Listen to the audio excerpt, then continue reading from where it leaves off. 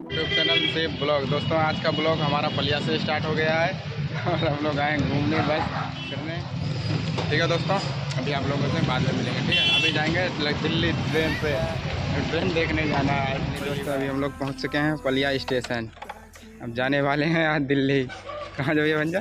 दिल्ली। दिल्ली जो भैया दिल्ली। कहाँ के स्टेशन में गाड़ी? सुपर हमारा इधर खड़ा सुपर स्पलेंडर इधर सूरज इधर भंजा जी चलते हैं देखा था, कहाँ तक ट्रेन ना देखे, है ना? सही ट्रेन देखन जा रहे हैं ना? इतने रे इतने सा भैया यार कहीं से। हाँ यार, सूरज कहाँ जो भैया है? हैं?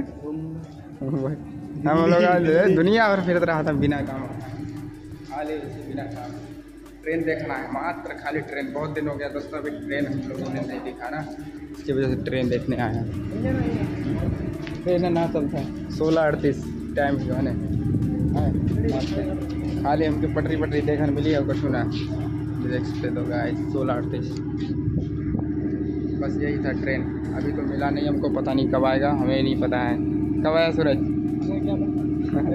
पता ना। है ठीक है दोस्तों जब आएगी ट्रेन तब दिखाएँगे। नहीं आएगी तो नहीं दिखाएँगे, चले जाएँगे वापस ओके चलिए। दोस्तों बहुत दिन के बाद हम लोग आए हैं स्टेशन पर। बचपन का याद आने लगा। बचपन हम लोग छोटे छोटे थे तब पढ़ने जाते थे दोस्तों यहाँ से। ट्रेन में बैठ के बहुत सस्ता उस ज़माने में बहुत सस्ता टिकट भी बहुत सस्ता था हम लोग का। मज़ा आया। मज़ा आता था। बचपन तब बचपन होते हैं। ठीक है दोस्तों अभी हम लोग जा रहे हैं बाज़ार तरफ़। ये हमारा खड़ा आ गया सुपरा। गाय भी खड़ी कहाँ है आए कहाँ गई ने सूरज और दोस्तों अभी आप लोगों से बाज़ार में मिलेंगे ठीक है? बाज़ार में चल। हम लेने आए थे वो हमें मिल चुका है। ये देख सकते हो काउंटर भी हमें मिल गया जिसको बोलते हैं टेबल और ये कुर्सी भी हम लोगों को ये मिल गया घूमने वाली। अभी सेटअप अच्छा बनाएँगे यूट्यूब के लिए। मस्त है मस्त है। क्या क्या भाई प्राइस आप क्या बता रहे हो इनका? तेईस सौ रुपये। ये तेईस सौ। उधर वाला? वो तीन हज़ार। तीन हज़ार। मस्त है यार। कम ज़्यादा यहाँ से हो जाएगा ना ये? दे चलो अब ले जाने की हमारी बहुत दिक्कत है भाई। गाँव से ट्रैक्टर आएगी तभी हम गाँव के रहने वाले आदमी हैं। गाँव में ट्रैक्टर आएगी ट्रैक्टर आएगी गाँव से तभी लेके जाएँगे। अब क्या करें यहाँ ले जाएँ कैसे? और भाई आओ दिखाओ जरा थोड़ा। अच्छा अच्छा। ये मस्त है वो भी। इतनी बड़ी ना है। सर से वैसे इतना छोटे हैं इतनी बड़ी क्या कराएँगे क्या बोला तूने? ये जाली वाली सैंतालीस सौ की। जितना ऊपर चले जाओ उतना अच्छा है ना? और तो ये ऐसे बैठने वाला है दोस्तों। सब चीज़ है यहाँ आपके यहाँ मिल जाएगी इनके यहाँ पर पूरा सामान गद्दा उद्दा वगैरह।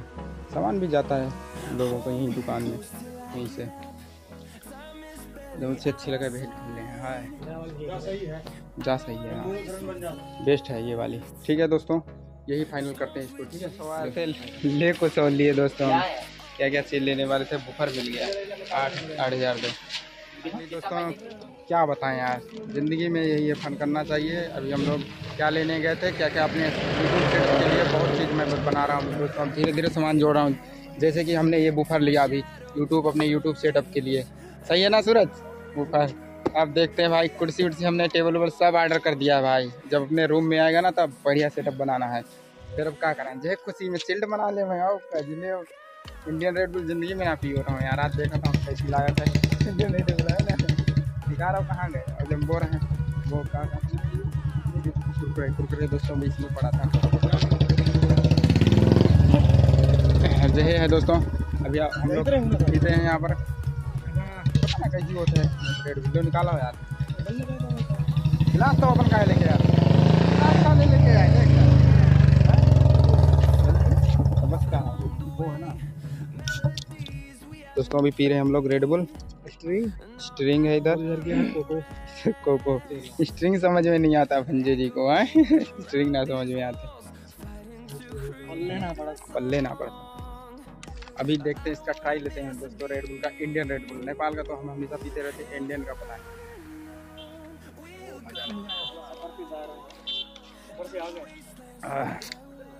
है देखो भाई मेरा स्ट्रिंग खुला। धुआँ ही धुआँ।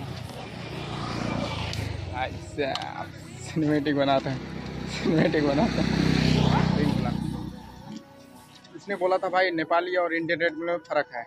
पर यार, खास फ़र्क तो ना लागो इतना यार। खास फ़र्क तो ना लागो।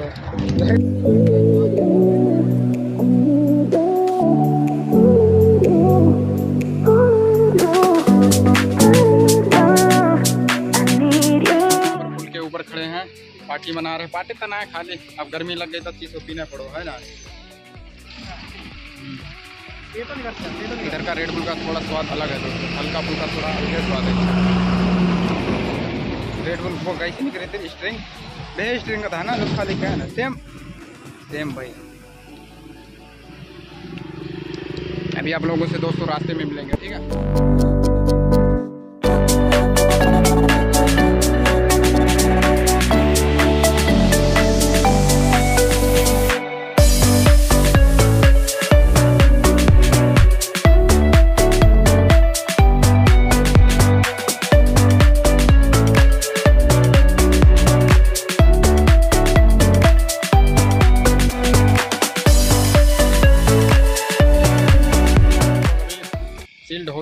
लोगों का ठंडा रेडबुल का।